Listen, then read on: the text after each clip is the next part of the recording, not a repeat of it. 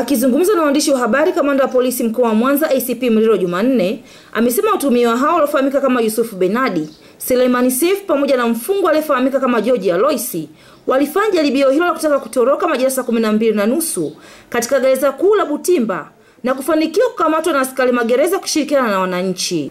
Kwa pamoja walikula njama na kufanya jaribio la kutoroka kwenye gereza kuu la Butimba. E, waka wakaweza kutoka mpaka nje, lakini askari magereza kwa jitihada kubwa walizozifanya wakishirikiana na wananchi ambao wako katika eneo lile waliweza kuwakamata baada ya kuwakimbiza, na wananchi ambao walitoa ushirikiano mkubwa waliweza kuwashambulia sana wakati wa ukamataji.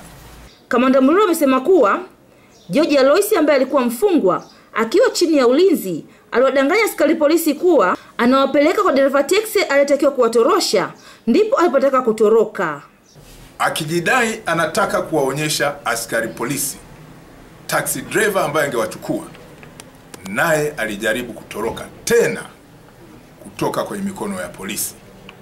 Polisi walilazimika kutumia risasi kumwalati asimame, lakini alikaidi na baadaye wakalazimika piga risasi za mguuni, ambapo walifanikiwa kumkamata na yeye baadaye pia alifariki dunia. Nikiripoti kutoka makao makuu ya jeshi la polisi mkoani Mwanza, mimi ni Sofia George wa EATV.